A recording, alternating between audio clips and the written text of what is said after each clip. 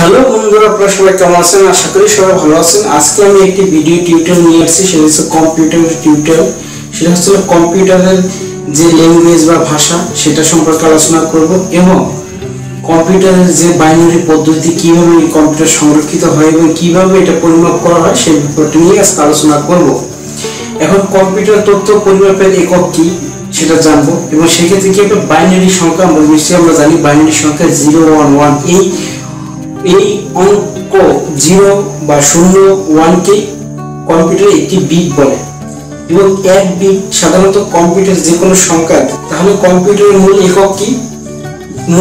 একক হচ্ছে বিট এক বিট সাধারণত একটি কোড অর্থাৎ জিরো অথবা ওয়ানকে শেষ স্মৃতি হিসেবে সংরক্ষণ করতে পারে এবং সে ইনক্লুডিং করতে পারে ইনকোড করতে পারে। কম্পিউটারে এই জিরো ওয়ান দ্বারা বিশেষ পদ্ধতিতে কম্পিউটারের সংখ্যা নির্দেশ করে এবং এটা কম্পিউটারের একক বলা হয়।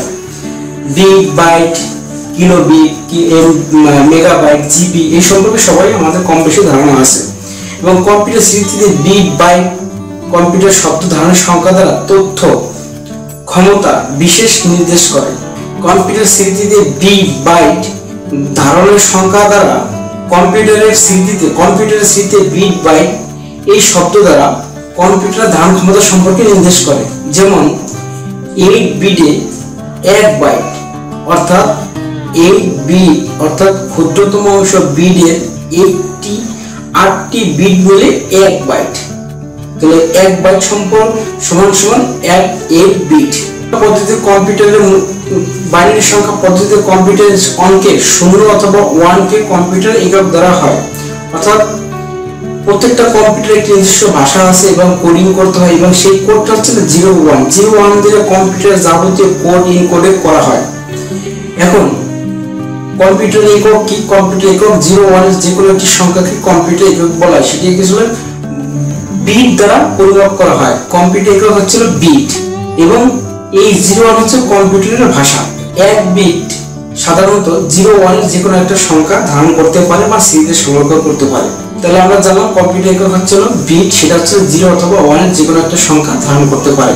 Bit byte kilobyte megabyte terabyte petabyte hexa ইত্যাদি অনেক ধরনের সংখ্যা দ্বারা প্রকাশ করা হচ্ছিল কি পরিমাণ তথ্য সংগ্রহ করতে পারে বা স্মৃতিতে ধারণ করতে পারে।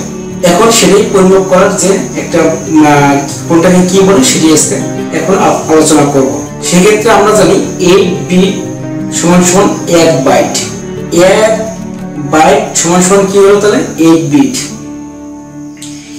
এক হাজার চব্বিশ, এক হাজার চব্বিশ বাইটে এক কিলো বাইট আবার, এক হাজার চব্বিশ কিলো বাইট হচ্ছিল এক মেগাবাইট এক হাজার চব্বিশ মেগাবাইট হচ্ছিল এক গিগাবাইট এক হাজার চব্বিশ গিগাবাইট হচ্ছে এক টেরাবাইট এইরকম টেরাবাইট প্যান্টা হেক্সা অনেক ধরনের পরিমাপের একটা স্কেল তৈরি হয়েছে বা আমরা স্কেল অনুযায়ী পরিমাপ করে থাকি। হ্যালো বন্ধুরা, আমরা কম্পিউটারের ল্যাঙ্গুয়েজ কীভাবে প্রসেসিং হয় এবং কম্পিউটারের পরিমাপের একক এবং কম্পিউটার পরিমাপকে যে ধারাবাহিকতার যে স্মৃতি, ধারণ ক্ষমতার যে পরিমাপ, সেটা সম্পর্কে আজকে ধারণা নিলাম। এবং পরবর্তীতে এরকম প্রত্যেকটা টিউটোরিয়াল আমরা তৈরি করব। আমার চ্যানেলে পাবেন। এবং বন্ধুরা, আমার এই ভিডিওটি যদি ভালো লাগে, অবশ্যই লাইক করবেন সাবস্ক্রাইব করবেন বেশি বেশি শেয়ার করবেন। ধন্যবাদ সবাই